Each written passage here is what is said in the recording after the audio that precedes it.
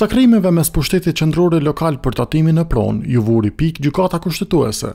Ky organ pezulloi nenin 5 të ligjit të tatimit në pronë të propozuar nga Ministria e Financave që kishte të bëjë me faljen e njëqind eurove nga komunat.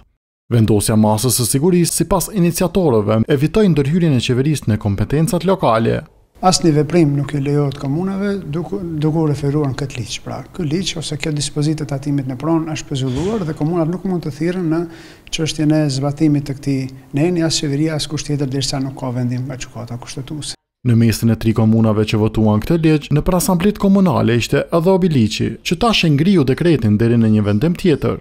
Me pezullimin e ligjit, po ashtu kemi pezullu edhe vendimin e marrë nga Kuvendi Komunal për faljen e tatimit në pronë, nuk kemi marrë ende asnjë përgjigje as nga Ministritë e Linjave, sepse çdo vendim që nxirret nga Kuvendi Komunal dërgohet për ligjshmëri në Ministri.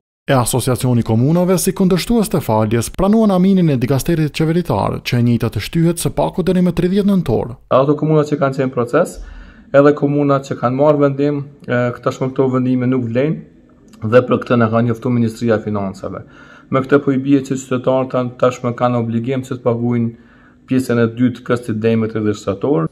Vendimin e Kushtetueses e ka kritikuar edhe i pari i kuletës së shtetit, Hekuran Murati, që tha se prapa këtij vendimi qëndron garda e vjetër.